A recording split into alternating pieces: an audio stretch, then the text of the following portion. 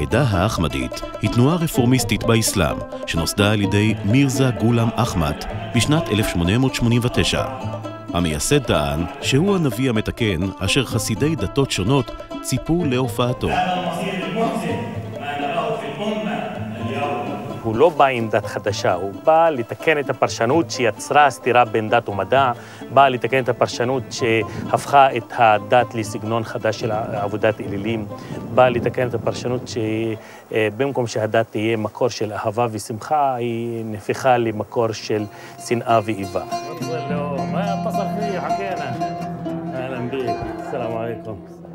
אהבת האדם, כל אדם, היא חובתי. למה כל אדם? בגלל שאף אחד מאיתנו לא נשאל לפני שבא לעולם הזה לאיזו בית הוא רוצה להיוולד, ולא הייתה לנו בחירה לבוא או לא לבוא. המייסד, הוא בא להגיד למוסלמים, תשמעו את הטענה הזאת כביכול שהאסלאם מתיר את השימוש בחרב להפצת הדת. היא טענה מחפרה וחסרת כל יסוד. גם בעת מלחמה הגנתית נביא האסלאם אומר לא להרוג ילד, ולא להרוג זקן, ולא להרוג אישה, ולא לעקור עץ. כל הממסד הדתי בעולם האסלאמי רואה באחמדים ככופרים, וזה לא נכון. אנחנו מוסלמים לכל דבר, אבל לא מוסלמים לפי הדרך שלהם. דרך שהביאה לכל התנועות הרדיקליות שבאסלאם, זה לא מהאסלאם.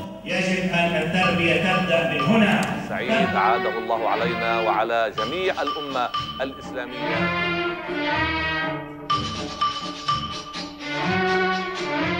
רשד עודה, תושב חיפה, מתנדב כאחראי תקשורת וטלוויזיה בעדה האחמדית. היום זה שידור חי לרגל חג עיד אל-פיטר. יש הרבה בני עדה במדינות ערב שלא יצאו מהמדינה ולא נפגשו עם אחמדים אחרים, וזאת הזדמנות להעביר את התחושות שלהם, את ההרגשות שלהם לשאר האחמדים וכל העולם.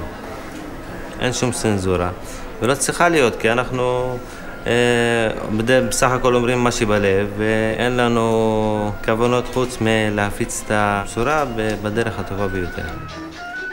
פה מדינה יהודית, חילונית, שנותנים חופש פולחן לכל הדתות, עם כל הסכסוך, עם כל הבעיות הפוליטיות, אבל חופש פולחן ישנו פה בגדול.